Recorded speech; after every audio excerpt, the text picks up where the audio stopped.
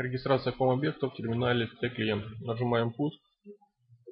Все программы стандартные. Командная строка. Команда cd две точки.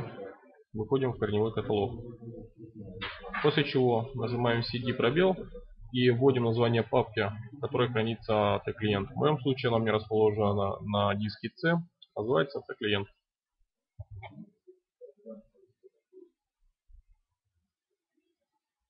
Зашли. После чего вводим команду t-клиент .exe пробел слэш рек сервер. Нажимаем Enter. Увидели запуск и выключение терминала. Это означает, что ком-объекты прописаны и терминал готов к работе с роботом. А, не забывайте, команда вводится так, так как указано, буква-буква, заглавная заглавная, пробел-пробел.